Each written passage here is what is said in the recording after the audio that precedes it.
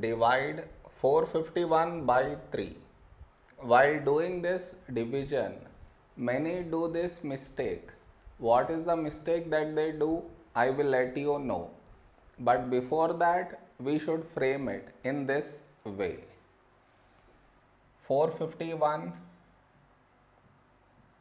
and 3 here. This is your step 1. Next, here we have 4 and here 3. A number close to 4 in 3 table is 3 ones 3. Now we should subtract 4 minus 3 1. After this you bring down the beside number so 5 down. Now 15 when do we get 15 in 3 table? 3 5s 15. Now you should subtract 15 minus 15 0. After this bring down the beside number. So 1 down. After this step the mistake happens and the mistake is this. Here we have 1 and here 3. 1 is smaller than 3. So what many do is they directly put a dot and take 0 here which is wrong.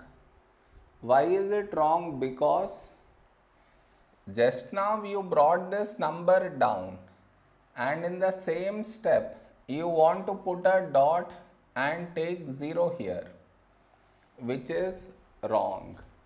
I repeat bringing the number down and putting a dot and taking 0 bringing the number down and putting a dot and taking 0 both at the same step you are not supposed to do. Instead what you should think of is what number should we write here? If I take 1 I will get 3 here.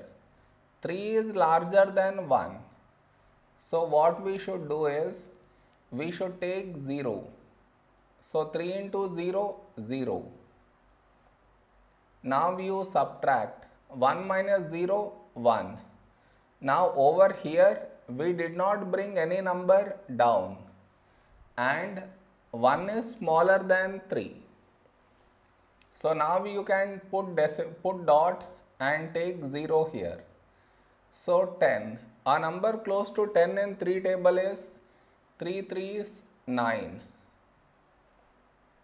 now you subtract 10 minus 9 1 we again got 1 so we get a bar on this number. So this is our quotient. Did you understand where the mistake happens? You should not do that mistake.